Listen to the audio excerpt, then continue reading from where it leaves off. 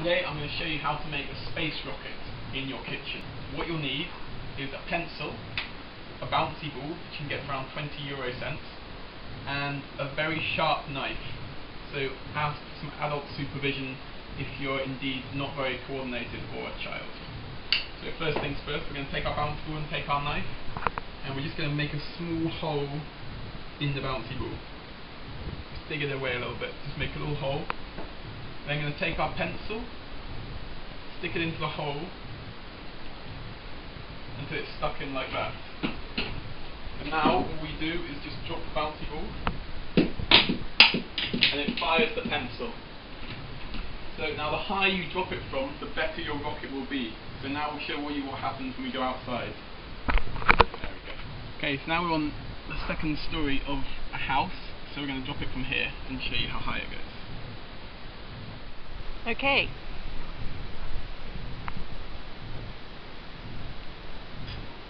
Amazing.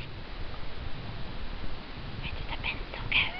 Where did the pencil go? Where? Where did the pencil go? Where did the pencil go? I don't know where it went. Where did it go? It went so high that you it just went over the height of the roof, but